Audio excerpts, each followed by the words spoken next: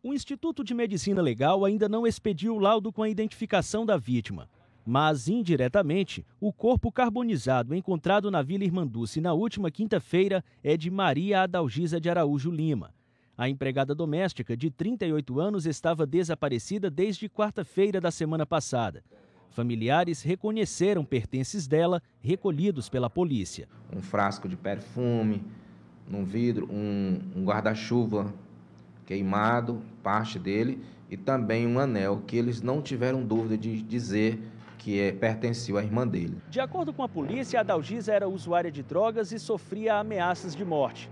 Ela saiu de casa na quarta-feira dizendo que ia ao município de Nazária buscar alguns objetos, mas não chegou ao destino.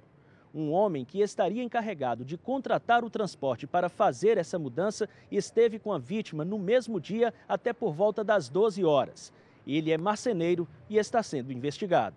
A polícia já sabe que um dos combustíveis usados para queimar o corpo foi serragem de madeira. E foi colocado, além de um, de, um, de um, líquido inflamável, a gente pode ver que o corpo estava sobre madeiras, né?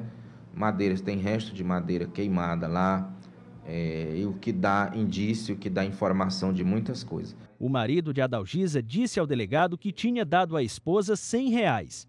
O dinheiro não foi encontrado. A Delegacia de Homicídios aguarda os resultados do IML para se manifestar sobre o suspeito do crime. Nós precisamos a confirmação do Instituto de Medicina Legal.